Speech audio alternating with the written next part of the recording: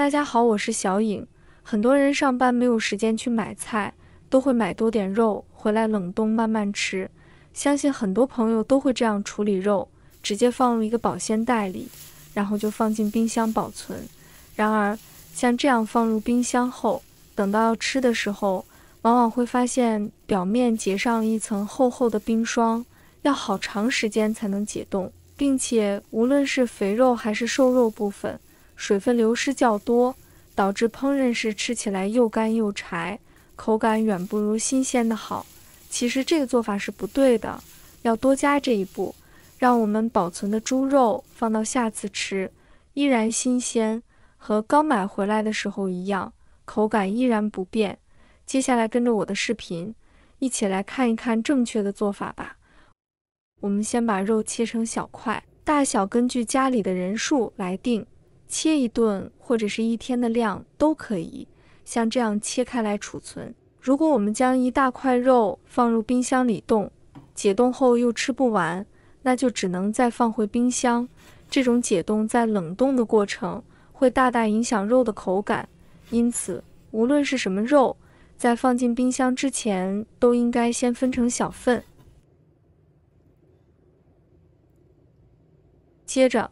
我们准备一些食用油，用刷子均匀地涂抹在即将保存的肉表面，不论是瘦肉、肥肉还是猪皮部分，都要刷到。这层油膜可以在猪肉表面形成保护，确保在低温冷冻的情况下，猪肉的水分不会流失，从而避免发干发硬的情况。我家每次冷冻前都会这样处理，先分成小块，每次取出来时刚好是适量。做菜时需要多少就取多少，人多的时候可以多取一点，十分方便。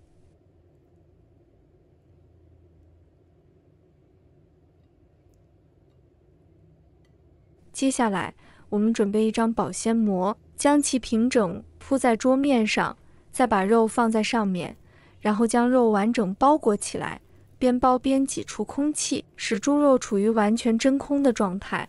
这样一来，没有空气就不会滋生细菌，也不会产生水汽。当我们将其放入冰箱时，就不会结厚厚的冰霜，这样就能保持猪肉的鲜味。我们将所有需要保存的肉都以同样的方法包裹起来，记得每次包的时候一定要把空气赶走。放入冰箱前，务必这样处理，以最大程度的保留猪肉的鲜味和香味。这样，当我们再拿出肉时，口感就与新鲜的一样，而且整理后也不占地方，看起来非常干净简洁。大家都学会这个方法了吗？接下来我们将用五花肉和大家分享一道非常美味的家常菜。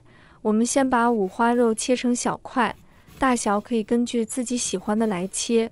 五花肉的脂肪和瘦肉相间，烹饪后口感非常嫩滑，肉味浓郁。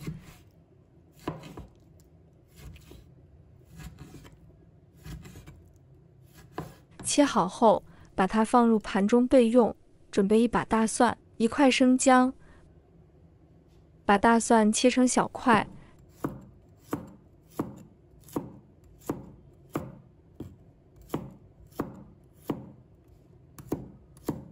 生姜也切成小块。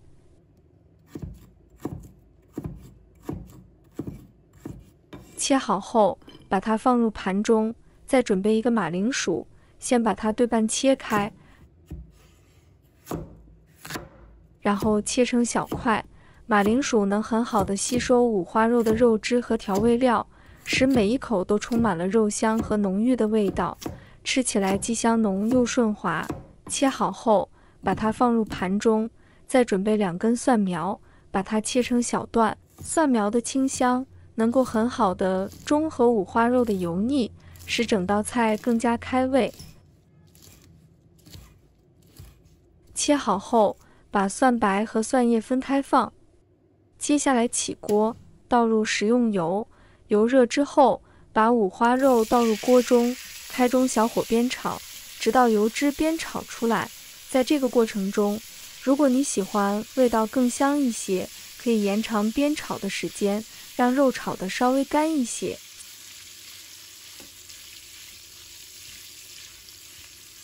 现在五花肉的油脂已经炒出来了，颜色变得金黄。把姜、蒜、蒜白放进来，炒出蒜香味。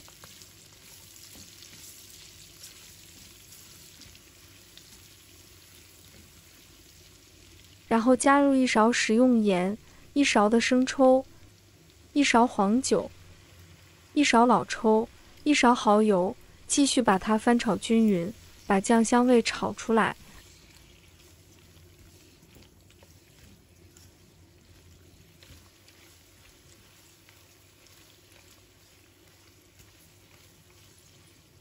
然后再把五花肉放入砂锅里。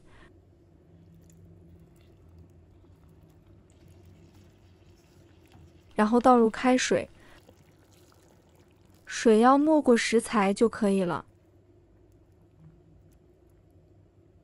盖上盖子，中火把它先焖十五分钟。十五分钟后，马铃薯也加入来，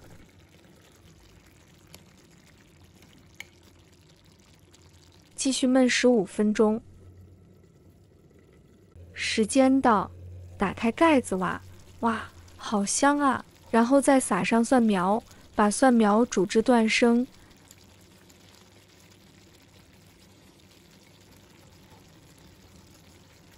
香喷喷的红烧肉焖马铃薯就做好了。用这种方法制作的五花肉，口感 Q 弹软糯，吃起来一点也不腻。马铃薯焖得特别软烂，浸泡在浓郁的汤汁中。